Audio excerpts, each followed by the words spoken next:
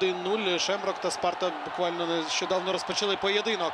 Зараз в атаці Кабаєв на ударній позиції. 4!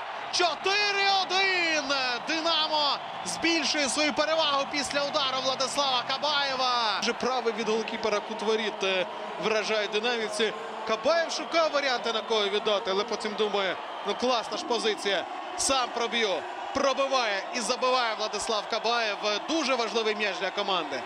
Вже на початку другого тайму Владислав Кабаєв е, натякає партизану, що нічого хорошого сербів у цьому матчі